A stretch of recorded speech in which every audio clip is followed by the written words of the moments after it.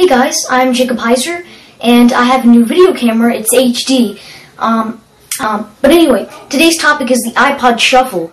They came out with a new iPod Shuffle, about half the size of the other one that they had before, twice the capacity, four gigabytes. It's eighty dollars, and it's really nice. Okay, well the earphones it comes with has a little um, control on the um, right string of the earpiece, and you control your music with that.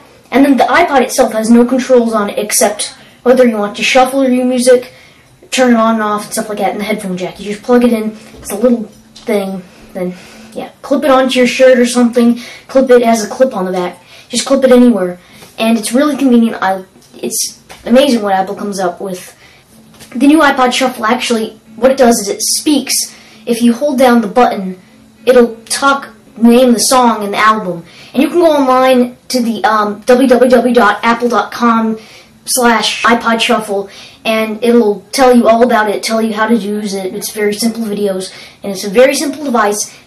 Every Apple product is very simple to use.